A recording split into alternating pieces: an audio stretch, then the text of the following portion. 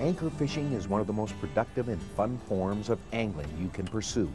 There's nothing like dropping your hook in exactly the right position, putting out a great spread of rods and gear, and catching fish after fish for your family and friends.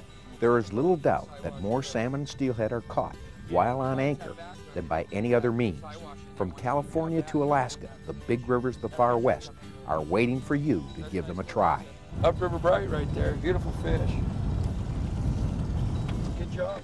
This fishing video is designed to show you how to set and pull your anchor and to explain the basic gear and techniques you need to be a successful salmon and steelhead angler in a river. And out goes the ball.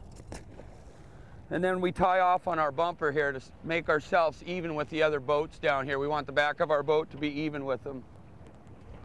We will show you how to safely set and pull your anchor, even in the crowded conditions that we sometimes face during peak runs. You will see how to rig your gear and what baits and lures work best for which species and at what time of year. In general, we'll provide you with some tools to be a better boatman and angler. The next thing I use is a slider to put my uh, lead dropper line on.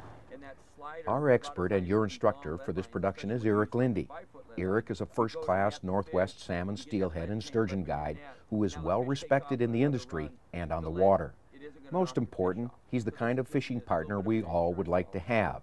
He knows his stuff and is confident in his angling techniques. Joining Eric in the video is Carmen McDonald. Carmen is a professional in the fishing industry as well, whose advertising agency represents a number of top manufacturers in the fishing world. He serves as our host and helps to draw out of Eric some of the hard-won knowledge he has on anchor fishing. If you follow the steps that we've laid out here, it'll be simple, no-brainer to anchor and to anchor safely, and you'll do it just fine around people. It shouldn't be a problem at all.